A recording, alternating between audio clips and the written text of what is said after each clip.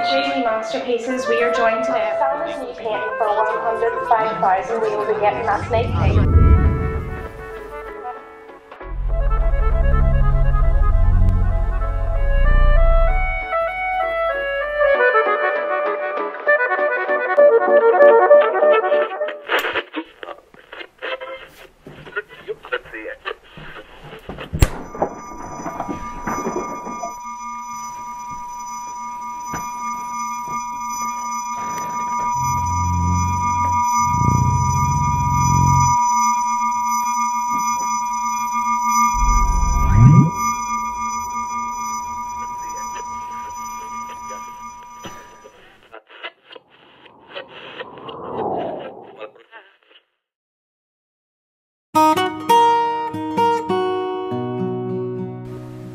That was five years ago.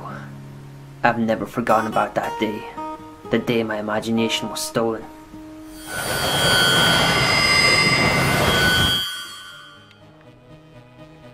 They mocked and laughed at me as I tried to explain. They eventually labeled me as the local nut. Worst of all, my imagination was gone. Or at least, that's what I thought. Memories that still remained of a device. A device that would allow me to travel through time. A time shifter.